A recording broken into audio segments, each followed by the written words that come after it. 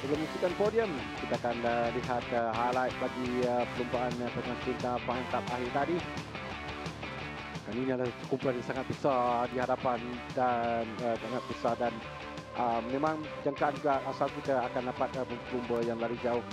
Cuma kali ini dengan ada beberapa pelumba yang menyertai perlumbaan yang sebelumnya tidak ada dalam uh, tidak menyertai dalam dua pusingan awal. Memberikan cabaran yang hebat kepada pendahulu keseluruhan. Lima tempat yang kedua dan ketiga dan kedudukan keseluruhan.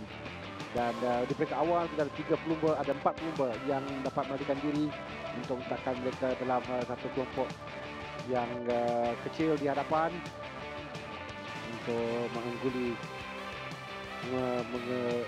untuk mengetuai bagi perlombaan uh, ini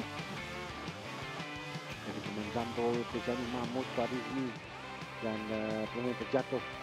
Ya pelumba yang pada awalnya berada di hadapan tadi mendahului dan uh, selepas uh, itu kita dapat uh, lihat uh, ada beberapa lagi pelumba yang terjatuh dalam perlombaan ini kerana keadaan uh, litar yang agak licin sedikit kerana hujan mulai membasahi litar ini.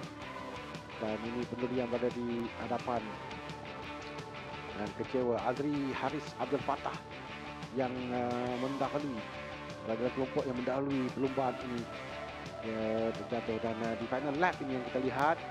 Uh, Dennis Aiman Zamrol yang berada di hadapan tapi dia terkeluar jauh di Leko yang terakhir. Dan uh, bukan buat pertamanya paksa diberikan kepada Tuzani Mahmud yang berada di tempat yang kedua. Kita sampai di gasan penama.